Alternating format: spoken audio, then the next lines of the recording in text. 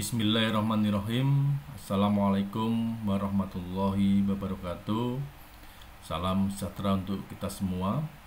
Pada video tutorial ini eh, Saya akan membahas tentang Implementasi database ya Dengan menggunakan Microsoft Access ya. Kali ini kita akan praktek bagaimana membuat aplikasi KRS sederhana ya pada pertemuan sebelumnya eh, sudah kita bahas tentang eh, komponen sistem basis data ya. Salah satunya dikenal dengan istilah DBMS ya, Database Management System ya, suatu perangkat lunak yang dibuat ya eh, untuk mengelola sebuah database ya. Nah, kenapa kita kali ini membahas Microsoft Access ya? Karena Access merupakan salah satu aplikasi Relational Database Management System ya yang digunakan untuk pembuatan database yang terdiri dari beberapa tabel yang saling terkait ya dengan berbagai fasilitas dan kemudahan untuk pengaturan data, pembuatan form, pembuatan report, laporan dan lain-lain ya. Seperti kita ketahui sendiri ya, kemarin kita sudah membahas apa makna database ya. Saya review kembali. Database adalah kumpulan data informasi yang berhubungan dengan suatu objek sehingga menghasilkan suatu informasi yang dibutuhkan pengguna secara cepat jika sewaktu-waktu dibutuhkan ya. Dalam sebuah database bisa terdiri dari beberapa tabel yang saling terkait ya. Apa itu tabel? Tabel digunakan untuk mendesain struktur database sebagai tempat penyimpanan data ya. Jadi kalau kita aplikasikan pada sistem siakat di kampus kita ya, bahwa data mahasiswa, data kurikulum, ya, kemudian data dosen itu tersimpan dalam sebuah tabel ya. Tabel itu dikelola menjadi satu kesatuan yang saling berhubungan ya. Uh, dalam praktek ini kita akan memulai membangun database aplikasi KRS sederhana ya yaitu suatu aplikasi yang digunakan mahasiswa dalam melakukan input KRS mahasiswa. Untuk kebutuhan pembuatan ini kita membutuhkan ya beberapa tabel ya seperti tabel prodi, tabel mahasiswa, tabel dosen, tabel mata kuliah, tabel KRS dan tabel detail KRS ya. Seperti kita lihat pada hierarki di samping itu ya. Nah, database akademik terdiri dari beberapa tabel yang saling terkait ya. Contohnya apa Pak? Contohnya misalnya tabel prodi itu berhubungan dengan tabel mahasiswa berhubungan dalam hal apa ya? Misalkan tabel prodi ada manajemen itu ya. Manajemen itu terdiri dari beberapa mahasiswa. Tak prodi akuntansi terdiri dari beberapa mahasiswa. Begitu juga dengan uh, hubungan tabel mahasiswa dengan tabel mata kuliah ya. Mahasiswa satu mahasiswa bisa mengambil beberapa mata kuliah. Sama dengan dosen ya satu dosen bisa mengampu beberapa mata kuliah dan lain sebagainya ya Nah, untuk itu kita akan mulai membangun aplikasi ini dengan menggunakan Microsoft Access ya. Kita buka saja Microsoft Access. Oke, dalam praktek ini saya menggunakan Microsoft Access 2019 ya. Jika eh, kalian menggunakan kan apa Microsoft Access seri sebelumnya juga tidak masalah. Bisa seri 2013, bisa versi 2016 atau 2010 masih bisa ya pada prinsipnya sama.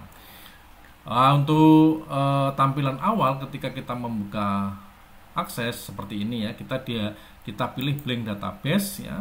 Kemudian uh, kita diharuskan untuk ngeklik dulu ya. Beda dengan Excel kalau Excel kita ngetik nyimpen terakhir bisa ya. Tapi kalau akses kita harus klik dulu ya sesuai dengan operasi perintah dalam database ya. Ada yang namanya create database. Maka kita klik dulu ya. Kita klik uh, simbol icon folder ini. Uh, kemudian kita tempatkan misalkan pada dokumen kita ya. Kita kasih nama database uh, database KRS ya. KRS sederhana ya misalkan. Database KRS sederhana ya. Oke. Okay. Oke. Nah, kemudian uh, kita create ya, kita create. Nah, di sini akan tampil utama yaitu tabel satu ya, karena database itu terdiri dari beberapa tabel, maka tampilan awal tabel satu ya, tidak uh, berbeda dengan Excel ya. Misalkan Excel itu tampilan awal ada sheet 1 ada sheet 2 sheet 3 bisa kita tambahkan ya. Pertama kita akan membuat uh, tabel prodi. Apa itu tabel prodi digunakan untuk menyimpan data nama prodi ya program studi. Di dalam prodi memiliki beberapa field name ya beberapa kolom ya. Kalau di dalam tabel itu ada kolom ya. Ada kolom atau field kode prodi, ada nama prodi, ada jenjang dan memiliki tipe data yang berbeda satu dengan yang lain ya. Kita mulai caranya gimana? Nah, klik kanan kita desain dulu, kita milih desain view ya, desain view, kita kasih nama tabel prodi ini ya. Tabel prodi saya kasih huruf A biar nanti urut ya, Anda nggak bingung ya. Tabel prodi, klik ya, kemudian nah, di sini ada kolom field name. Apa nama filenya bisa kita tentukan. Terus tipe datanya apa ya. Deskripsi opsional bisa dikosongi atau bisa ditambah itu hanya keterangan ya opsional ya. Yang pertama adalah e, kode prodi ya. Kode prodi field kedua adalah nama prodi field yang ketiga adalah jenjang ya nah, untuk data tipe ya di sini ada kalau kita klik ada macam-macam kalau auto number itu eh, apa tipe data yang diberikan otomatis oleh sistem ya. Jadi ketika transaksi pertama auto number 1 2 3 nambah dengan sendirinya ya. Kemudian kalau sotek itu untuk eh, teks-teks pendek ya. Kemudian long text teks panjang, number khusus untuk angka ya, misalnya jumlah SKS, misalkan IPK itu dengan menggunakan number ya. Lex number, uh, number dengan data yang panjang, ini tanggal ya misalkan tanggal lahir dan sebagainya currency untuk mata uang ya eh, gaji pokok atau pendapatan dan sebagainya Nah, dalam hal ini kode prodi kita memilih short tag ya. Kenapa short tag? Karena kode prodi nanti ada 0, misalkan kita menggunakan 01, 02, 03 ya. Kenapa tidak number? Karena number itu hanya 1, 2, 3 ya. Kalau short tag tidak ada, nomor 01 itu enggak ada ya. Jadi seperti NPM Anda 01 satu dua tiga itu berarti e, bentuknya teks ya. ya. Kita pilih short tag. Kemudian nama prodi kita juga pilih short tag ya karena e, nama prodi itu kan nggak panjang-panjang ya paling manajemen akuntansi ya karakternya masih bisa lah pakai short tag ya. Kemudian jenjang ya, jenjang itu nanti ada S1, S2, D3 ya. Nah, untuk kebutuhan konsistensi data ya, untuk kebutuhan konsistensi data maka kita harus membuat pilihan kita harus membuat pilihan. Jadi nanti admin itu ngisi itu biar ada pilihan. Kenapa? Karena kalau tidak ada pilihan kemungkinan antar satu admin berbeda ngisinya ya. Ada yang ngisinya dengan S1 ada yang ngisinya dengan strata 1 ya ada yang ngisinya dengan S strip 1 ya itu nanti akan membingungkan dalam pengolahan data ya untuk summary untuk apa namanya e, kompilasi data dan sebagainya. Nanti ketika ditanya e, jumlah program studi jenjang S1 ada di Unikal ada berapa? Pasti nanti di laporan muncul 4. Kenapa 4? Terus S strip 1 ada 5, serata 1 ada 3. Padahal antara S1, strata 1 dan S strip 1 itu sesuatu hal yang sama. Maka agar konsistensi maka kita buat pilihan ya. Caranya adalah gimana? Kita milih klik nah, lookup wizard ya. Kemudian ada dua pilihan ini. I want the lookup field itu digunakan untuk mengambil data lain. Tapi kalau I will tipe in the value in the I want itu uh, kita memberikan pilihan sendiri. Dalam hal ini kita milih yang nomor dua ya. Kita next ya. Kita ketik saja ini misalkan ada di 3 ada saya ulangi ya, kepencet ada di 3 S1 S2 ya, ada yang mungkin ada di kampus kita ya misalkan seperti itu. Kemudian kita next ya nah, kita finish ya kita finish nah, kemudian kita finish kemudian kita sudah selesai ya berarti kita tinggal mencoba ngisi data ya kemudian kita close ini. Kita close kita simpan ya. Nah, kita coba buka ini tabelnya ya. Kita isi tabelnya ya. Kita isi tabelnya misalkan eh, ke apa namanya kode prodi diisi dengan apa ya. Misalkan kita kasih 01 kita isi, coba input dua ya. Ini manajemen. Nah ini ada pilihan ini sesuai dengan yang kita ketikkan tadi ya. Kemudian ada 02 ada akuntansi ya. Akuntansi Oke, kemudian kita S1 ini. Ini uh, kita coba dan berhasil ya. Kita sudah selesai uh, membuat satu tabel ya. Kemudian untuk membuat tabel selanjutnya, apa ini kita membuat tabel apa ya? Tabel selanjutnya adalah tabel uh, mahasiswa ya. Langkah-langkahnya sama seperti tadi ya.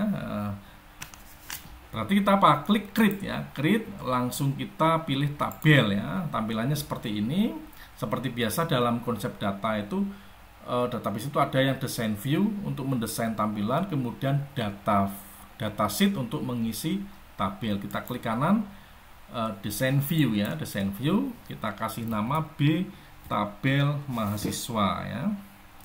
B tabel mahasiswa. Kemudian kita klik OK. Nah, kita tabel mahasiswa misalkan di sini ada NPM, kemudian ada nama, ada tanggal lahir, ada jenis kelamin, ya, ada alamat, ada program studi ya.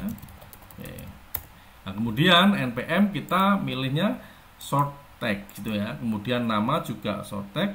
Jangan lupa ini tanggal lahir ya. E, tanggal lahir menggunakan tipe data date or time ya.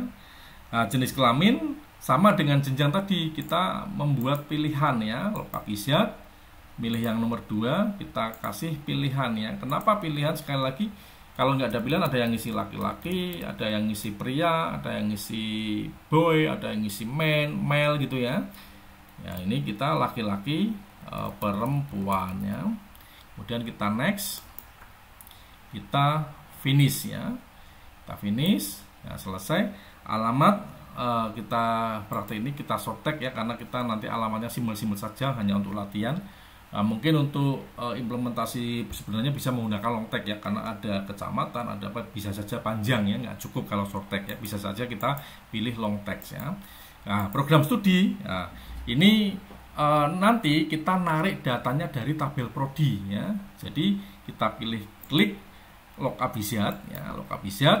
Nah, kalau tadi kalau pilihan sendiri kita memilih nomor dua, ini pilih yang nomor satu ya, pilih yang nomor satu. Oke, klik, maka kita uh, pastikan ini tabel prodi nih ya. Uh, ini ada di tabel prodi, kemudian next ya. Nah, kemudian kita yang kita butuhkan apa? Kita hanya membutuhkan nama prodi ya, yang muncul di kita itu nama prodi. Kemudian next. Ya. Ascending itu diurutkan berdasarkan apa ya? Nah, diurutkan berdasarkan kode. Kenapa nggak nama prodi? Kalau diurutkan berdasarkan nama prodi, maka eh, program studi yang depannya A, padahal itu lahir terakhir, berdiri terakhir itu nanti akan di atasnya. Tapi kalau kode prodi itu biasanya disesuaikan dengan eh, tanggal berdirinya. Berarti kita milih kode prodi. Next gitu ya. Nah, ini muncul manajemen akuntansi, kemudian kita next ya Nah, jangan lupa kita checklist enable data integrity ya. Jadi untuk memastikan antara program studi dengan mahasiswa di ada hubungan integrasi ya seperti itu ya. Satu prodi bisa memiliki banyak mahasiswa ya. Kita finish seperti itu ya. Oke, di sini ada perintah tabel harus kamu simpan ya sebelum membuat relasi ya gitu ya. Oke kemudian kita input ya kita coba input ya kita double klik. Ya kita coba input dua nama mahasiswa saja ya hanya untuk memastikan uh, ini benar ya tipe datanya benar. Ya misalkan 01 001 uh, nama misalkan kita butuh misalkan Duyung Dayani ya. Kemudian tanggal lahir 24 Mei uh, eh, 2004 misalnya. Jenis kelamin perempuan ya ini muncul pilihan e, alamat kode sugi program studi. Ini ada pilihan ya karena kita mengambil. Nah, kalau ini ini berarti tergantung tabel prodi. Ketika tabel prodi itu ada tambahan misalkan ada program studi baru maka di sini muncul juga tiga empatnya ini sesuai. Karena kita tadi cuma ngisi dua maka di sini muncul hanya dua ya. Kemudian uh, yang kedua adalah 02 001 uh, namanya Bejo Sutrimbil misalkan ya tanggal lahirnya 7 uh, eh, Desember 2004 ya. Ini nama fiktif ya Anda boleh latihan menggunakan nama yang berbeda ya. Ini hanya untuk uh, coba data yang kita masukkan itu benar tipe datanya sudah tepat atau belum ya. Ini sudah ya. Kemudian kita close ya. Kemudian tabel mahasiswa sudah kita buat ya. Sekarang kita membuat tabel dosen ya. Oke tabel dosen digunakan untuk apa ya? Tabel dosen digunakan untuk menyimpan nama dosen ya. Jadi mirip dengan tabel mahasiswa hanya saja kalau dosen menggunakan ini DN kalau mahasiswa menggunakan NPM ya. Kita mulai create tabel itu ya. Tabel e, klik kanan design view ya. Kita kasih nama C tabel dosen gitu ya. C tabel dosen kemudian klik OK. Ya kita buat ini NIDN e, nama kemudian tanggal lahir. Ya, tanggal lahir jenis kelamin mirip ya jenis kelamin. Kemudian alamat e, program studi ya oke. Kemudian out e, NIDN menggunakan short text ya. Kemudian tanggal lahir persis ya dengan tadi. Date and time nah, jenis kelamin kita buat pilihan kembali ya nomor 2 ini ada laki-laki ada perempuan ya. Oke. Kemudian kita next kemudian kita finish ya. Kemudian eh, program studi juga ngambil seperti tadi ya. Nomor pertama eh, tabel prodi ya kemudian di sini kita butuh nama prodi kemudian diurutkan berdasarkan kode prodi itu ya Oke, kemudian jangan lupa aktifkan enable data integrity. Artinya apa? Um, integrasi antara tabel prodi dengan tabel dosen ya. Satu prodi memiliki banyak dosen ya. Kemudian finish ya. Kita harus simpan dulu, simpan lagi nih ya. Kemudian kita coba isi datanya dua ya. Datanya dua misalkan 06 001 ya. Nama ini Rafiah ya. Tanggal lahir 6 April 1986 ya. Kemudian jenis kelamin perempuan. Alamat misalkan Sapuro e, manajemen ya. Kemudian ini 06002 e, kita ketik nama yang kedua ini ya. Nama yang kedua kita tanggal lahir ya, misalkan 30 November 1987 jenis kelamin laki-laki alamat mendan uh, profesi akuntansi ya. Oke selesai ya selesai kita close ya kita close. Nah, kita sudah mempunyai uh, empat tabel ya uh, tiga tabel maaf ya. Uh, tabel yang keempat apa? Ya yang keempat adalah uh, tabel mata kuliah digunakan untuk menyimpan data nama mata kuliah ya oke kita create ya tabel Oke, kemudian klik kanan uh, desain view ya. Kita ketik saja di tabel mata kuliah ya, tabel mata kuliah. Kita oke. Nah, kita masukkan uh, kodenya ya. Yang pertama kode MK ya, kode mata kuliah. Kemudian ada mata kuliah, ada SKS, ada program studi, ada dosen pengampu ya dosen pengampu ya oke okay. kode mata kuliah menggunakan short text itu ya kemudian eh, apa kita menggunakan kode mata kuliah kita menggunakan short text ya. Kemudian mata kuliah menggunakan short text kemudian SKS ya SKS karena SKS 1, 2, 3, atau 4 kita menggunakan number ya. Nah program studi ini mengambil dari tabel prodi ya. Kemudian kita klik kita lookup ya kita ambil datanya dari tabel program studi ya. Kita ambil namanya klik ya, kemudian kita urutkan berdasarkan kode prodi ya oke jangan lupa enable data integrity ya. Kemudian kita finish ya. Nah, kita simpan. Kemudian dosen pengampu kita ngambil dari data dosen ya. Jadi kalau tadi ada dosen dua orang nanti akan muncul dosen dua orang ya. Untuk e, mengetik tidak nanti biar tidak ngetik ulang ya. Tinggal ngambil datanya saja ya. Ini isiat nah, ini berarti ngambilnya dari ingat ya jangan langsung next. Ini milih yang tabel dosen karena kita mengambil dari tabel dosen. Kita butuh namanya namanya saja. Nanti akan muncul nih uh, berdasarkan apa? NIDN ya. Kenapa nggak nama karena NIDN itu sesuai dengan tanggal lahirnya tanggal masuknya seperti itu ya. Kalau nama itu uh, kalau dosen atas nama channel selalu di bawah. Kita biar uh, seperti tadi mahasiswa urutnya NIDN ya kemudian ini muncul dua ya. Oke next ya jangan lupa enable data integrity ya finish ya. Selesai. Yes ya. Yes kita yes. Ya kita kemudian uh, kita close kita ketik coba ini datanya ya. Kode mata kuliah misalkan EKM 001 mata kuliah misalkan bisnis digital SKS 3 program studi manajemen ya. Dosennya misalkan di Taleni gitu ya. Kemudian EKM 002 eh, misalkan kita ketik sistem informasi gitu ya. 19 KS 3 mata kuliah manajemen ini kita uh, satu prodi ini ya. Apa namanya? Nanti prakteknya ya prodi manajemen ya. Ini dosennya ini dosennya juga ada pilihan ini ya uh, sesuai dengan yang ada di tabel dosen ya. Jadi kita nggak perlu ngetik ulang ya. Kalau dosennya kita tambah ya maka maka di sini akan muncul gitu seperti itu ya. Kemudian uh, kita close ini ya. Kita close ya.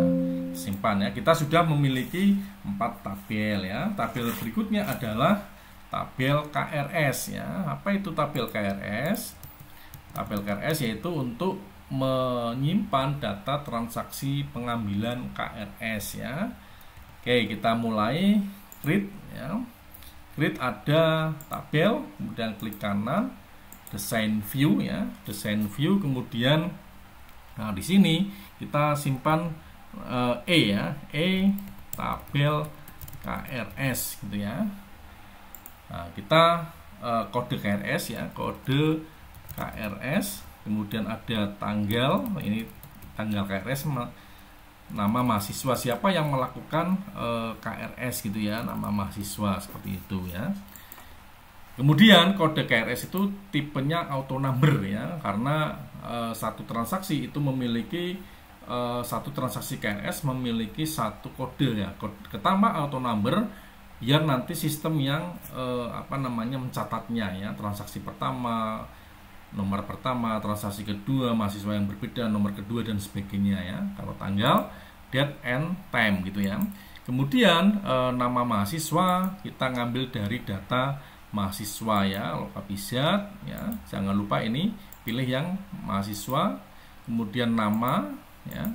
Kemudian kita next urutkan berdasarkan NPM ya, kemudian kita uh, next ya. Kita next oke.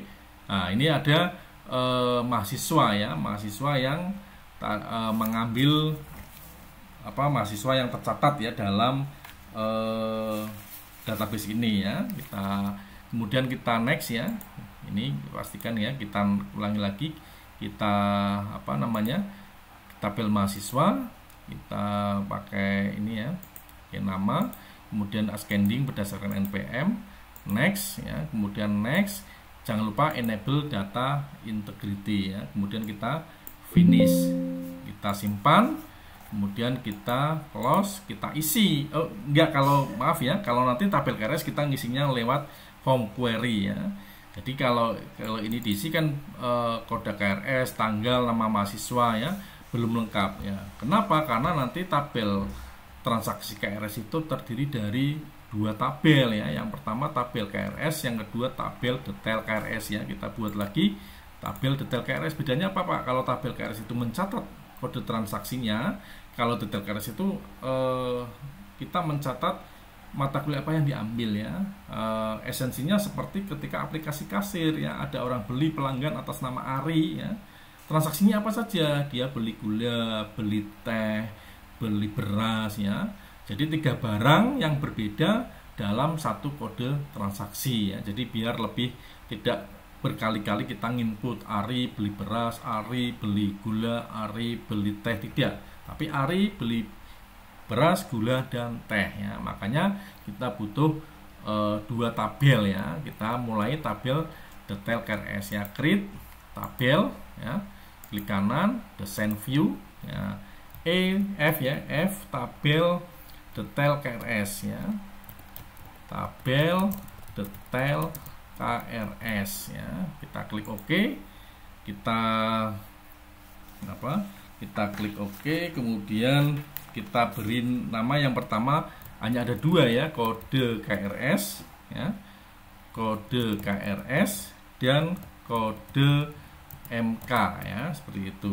Nah kemudian yang kode KRS ya karena eh, apa kita itu nanti apa nginclude dengan tabel KRS maka di sini jangan auto number ya.